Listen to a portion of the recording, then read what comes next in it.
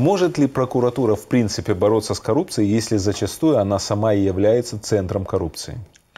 Ну, говорить, что именно прокуратура является центром коррупции, я бы так не говорил. Есть у нас еще другие правоохранительные органы, которые а также а являются именно? коррумпированными. Вот, например, по рейтингам а, сейчас э, считаются коррумпированными там Министерство образования, Министерство здравоохранения не меньше, чем, угу. да -да. не меньше, чем прокуратура. Прокуратура как раз на пятом месте. Давайте не забудем про суды, давайте еще там про кого-то, про налоговую не будем забывать.